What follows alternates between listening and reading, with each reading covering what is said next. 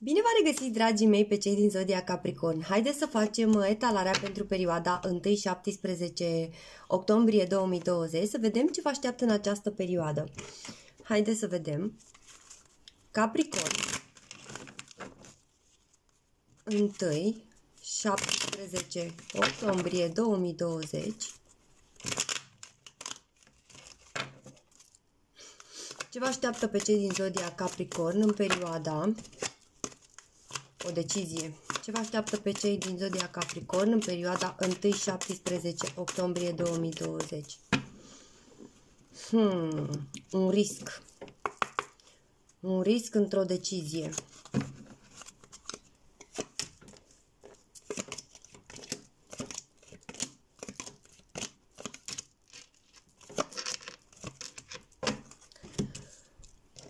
Că sunteți doamne, că sunteți domni uh, luați situația viceversa. Cineva aici urmărește să ia o decizie. Ok? O decizie este o situație pe care și-o dorește din tot sufletul să se întâmple. Poate aveți de-a face cu zodia uh, din câte văd vărsător. Poate fi uh, Poate voi aveți ascendent, pentru că văd, poate voi aveți ascendent în rac pe scorpion și asta este valabil și pentru voi. E, vreau să spun în special pentru voi. Este o situație pe care voi vă doriți. Este ceva, sau cealaltă persoană, luați viceversa, cum este, un vis de al vostru, care necesită așteptare, ori sunteți nerăbdători să vedeți dacă acest lucru se va întâmpla. Vreți să luați o decizie să vă duceți către o persoană care vă împlinește sufletește, ori viceversa persoana respectivă să vină către voi. Este o dorință, este o speranță, este um, un vis, este un vis pe care cineva dorește să și-l împlinească. Cineva aici a realizat că iubește pe cineva foarte mult, ok? Și își dorește să se împace cu persoana iubită. Însă, din câte văd aici, o persoană urmărește în același timp decizia celelalte persoane.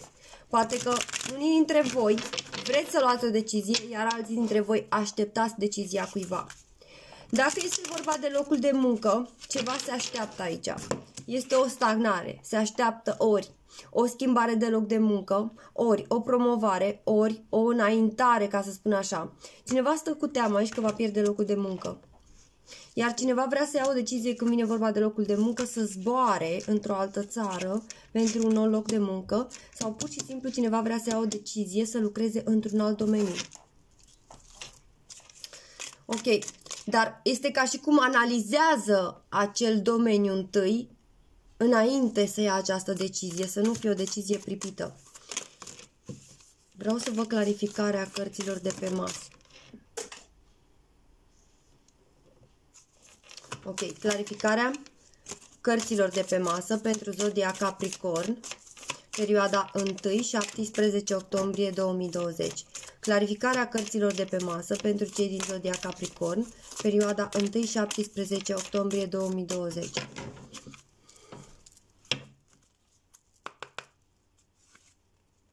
Wow, turnul și patru de săbi. Cineva aici vrea să facă o, o surpriză, dar uh, turnul cu patru de săbi mai vorbește și de o persoană care va avea un șoc sau o persoană care, din păcate trebuie să spun și asta, cineva trebuie să aibă grijă, poate veți auzi de un accident, poate fi un accident de mașină este clar o persoană din trecut care vă regretă sau pe care o regretați. Ok? Și aici cineva care trebuie să audă mesajul ăsta sigur are ascendent într-o zodie de apă. Um, se analizează faptul că cealaltă persoană nu-și mai dorește să dea nimic în această situație. Este reținută, este tăcută, este în defensivă, nici nu se gândește la această decizie. Consideră că este un capitol încheiat, dar cineva consideră că vrea să înceapă un nou capitol cu această persoană. Ok, un eveniment pe care persoana asta, voi sau persoana iubită, vrea să-l desfășoare, o întâlnire, ceva, nu va avea loc, va fi anulat. Um, Este ca și cum cineva a părăsit în trecut pentru altcineva, iar acum își dorește, pentru că regretă persoana iubită. Poate fi chiar leu, berbec, săgetător. Um, cineva aici vrea să părăsească sau a părăsit alte opțiuni în trecut, poate chiar o fecioară, taur, scorpion, și se îndreaptă către un vărsător, leu, berbec, săgetător sau indiferent de zodie, dar persoana asta nu-și mai dorește, este în defensivă și nici măcar nu se gândește să ia o decizie. Ok, clar aici cineva are ascendent în pești, în special pentru domni. Oferta asta vine cu lacrimi, vine cu regrete, vine cu rugăminți de iertare, vine cu um, Ok, iar cineva aici care nu mai vrea să dea nimic este o persoană care și-a învățat lecția, voi sau o persoană iubită, este o persoană care a trecut prin foarte multe lucruri râte cu cealaltă persoană și spune, nope, am investit atât de mult și nu am putut să culeg roadele. N-am avut nimic din această relație. Nu mă refer la partea financiară. Din contră, cineva aici a investit pe parte financiară. Mă refer la energie, timp, dragoste. Cineva aici n-a primit nimic la schimb și acum este în defensivă cu a mai investi în această relație. Nu dorește să ia această decizie. Ok.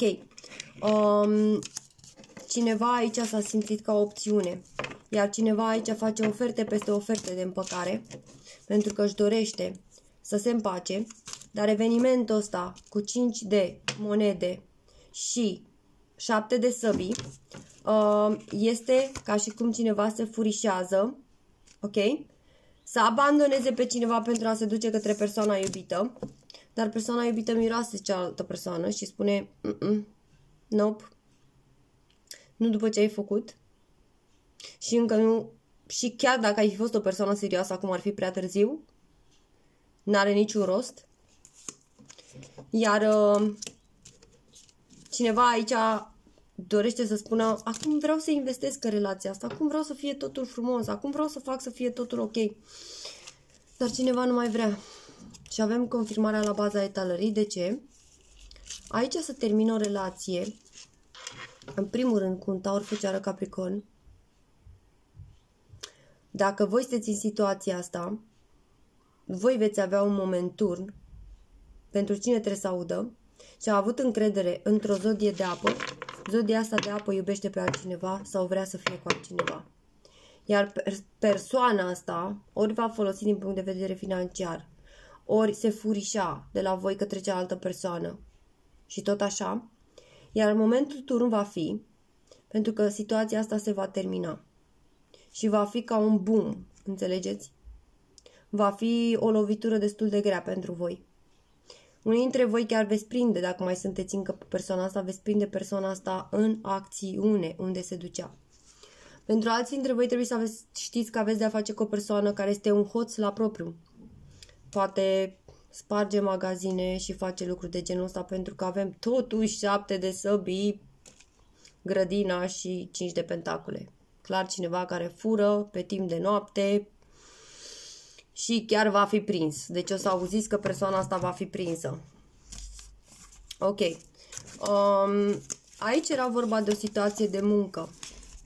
De, vor, fi, vor fi conflicte în ceea ce ține de muncă. Dacă este vorba despre locul vostru de muncă, veți avea foarte multe conflicte la locul de muncă.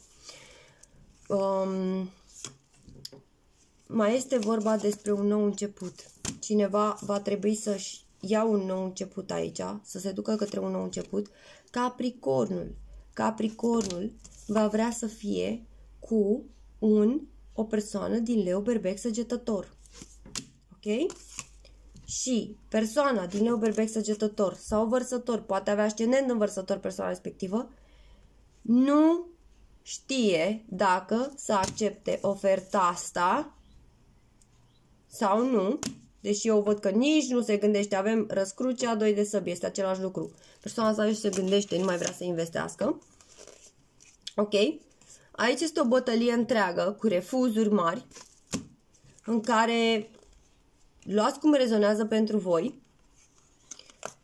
Cineva va pierde ambele persoane. Ok? și pe voi și cealaltă persoană.